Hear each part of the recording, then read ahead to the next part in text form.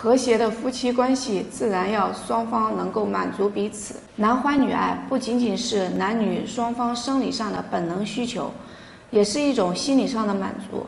一个长期在家吃不饱的女人，真的不敢说她没有思慕外面的男人。好的夫妻感情是建立在良好的夫妻生活上面的，性在夫妻生活的重要性不言而喻。今天，我们就来聊一聊女人吃不饱。会有哪些外在表现？第一，暗示你缠着你。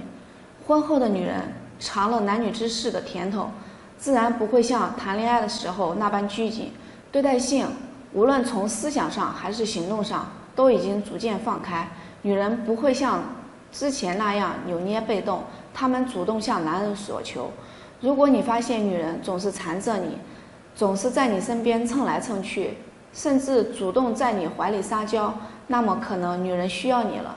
第二，有目的性的肢体接触，女人想挑逗男人，自然会使一点小心机，身体上会刻意的拉近和男人的距离。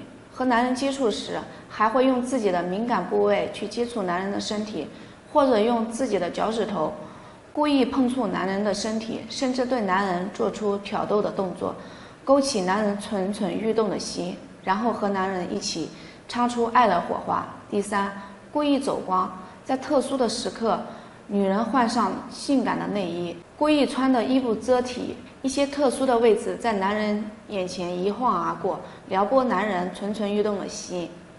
有的时候还会撒上很有诱惑力的香水，有意无意的在男人面前走光露点，故意让男人上钩。第四，言语挑逗。言语能制造出暧昧的氛围，赞美对方身体的强壮和性感，或说一些调情的话语，甚至可以说一些荤段子，愉悦气氛。